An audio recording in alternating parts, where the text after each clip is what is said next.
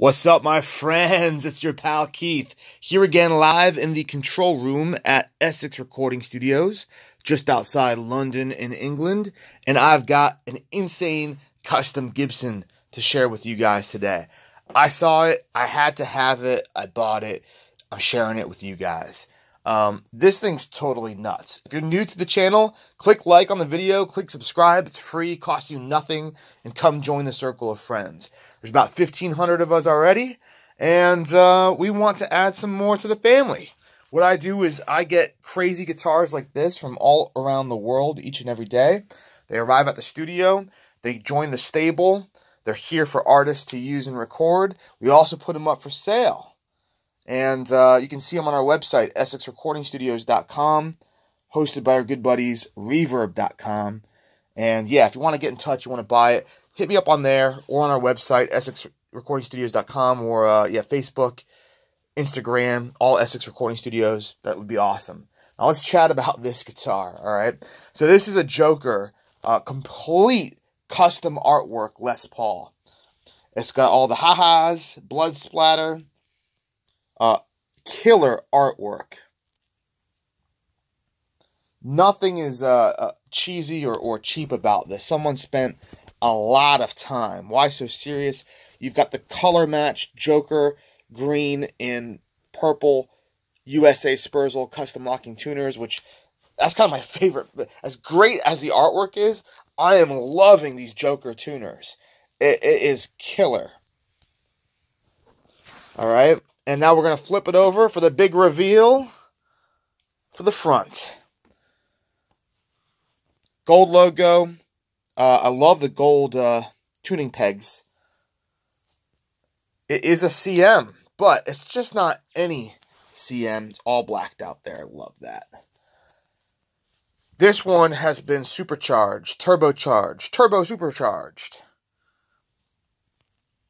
It's got great artwork on the front. You see his hand there coming out of the sleeve. And then we've got these Seymour Duncan pickups are crazy. I can't remember what they're called. I had a Jackson Kelly uh, that had one. But they're nuts. You've got the toggle switch here, three way. Am I doing it right? Yeah. Where are we? There we go. That way. It's going the wrong way. And you've got the little top hats. Me personally, I think I would go for some green and purple uh, kind of uh, metal knobs. That's what I would do. Or I try and get one that maybe has uh, green font and purple font. I don't know. I'm just playing around with it. But whoever did this did a bang up job. I mean, they did awesome. There's really nothing you can do to criticize. The strings are coated in some sort of black. The whole thing's a little bit of the coating is gone there. I don't really know what that is. But it's done to a professional standard. There's a little bit of like orange peel in the lacquer. You can kind of see, you know, it, it's what you would expect on something that's been uh, refinished by an artist that wasn't done like in the factory. But it doesn't look bad. It there's zero people on this earth that are going to see this guitar and go, yeah, that sucks. That's not cool. It, it is great. This is not something that you went to like a local flea market and, and had some random guy on, on like the side of the street just go and paint this. You know, this wasn't a, a street performer, a serious artist that did this. Really, really cool. Show the back again. I'm in love with this thing. I paid dear money for it and it's going to be more than a Les Paul CM, obviously. You've got the tuners, you've got the pickup, and then you've got this insane artwork, you know, but it's not going to be as much as a as a Les Paul standard. You're you're looking at I'm, I'm going to be selling this for somewhere around like what a a new studio would go for. And it's totally worth that, guys. It sounds killer, it plays killer, and my god does it look killer. This on stage would look insane. This hanging up on the wall just as a piece of functional art is awesome. I mean, if this is on your living room above your couch or something, people are going to freak out and they're going to love it. Or if it's on a stand next to your TV, you know, when you have guests come over, they're going to say, that is the coolest guitar we have ever seen. And have fun with it. You know, throw whatever pickup you want in there. If you're not the, a fan of the Dink, uh, the, the the Duncan, you know, replace the knobs if you want to get a little more creative with it. Uh, tint the inlays if you want. Do whatever, guys. But I, I would keep it just the way it is. It sounds great and it looks so cool. I fell in love with Jackson guitars because back in the day, Jackson were the guys that were doing graphics. And then people started to kind of copy them.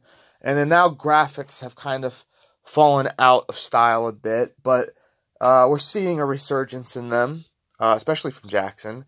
A lot of the other companies are are putting graphics on like their their cheaper guitars. Like Dean is is using them a lot now, and uh, BC Rich, and you know that's cool. But it is very difficult to get something like this, and you never. I mean, Gibson certainly doesn't do anything cool like this. Uh, lately, what they've been doing is the opposite of cool. They've been doing some ridiculous stuff. Um, I guess that's why they're going bankrupt. But yeah, point is, this is a special guitar, and I can't wait to find out who uh, appreciates it as much as I do. And I hope it goes to a really cool home or some Batman fanatic, Joker fanatic. They will love this thing. Cool. All right, guys, I am Audi 5000. It is like midnight on a Saturday, and your bro Keith needs some shut eye. I need some sleep. All right. I'm going to Netflix and chill with the wife upstairs.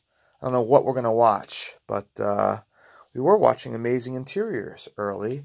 And I actually saw a house back in Florida that had furniture from my family's antique store in it. Totally insane to see that. We actually know the guys. But yeah, it's uh it's TV time and sleep time for your buddy Keith. I am out. If you want to buy this bad boy, just hit us up on the website, EssexRecordingStudios.com or on Reverb.com. You'll see it up there. Just type Joker Gibson. It'll be the first thing that pops up. Um, that's it. Cool. Hope everyone's having a great weekend. Drink a beer for me. I'm behaving myself and working out and dieting and fasting and getting slim. So I don't get to have any beers. All right. Later, guys. We'll see you soon. Stick around on the channel for uh, more guitar videos coming right up. And like I said, if you're new, click subscribe. We're going to be best mates. All right? Later.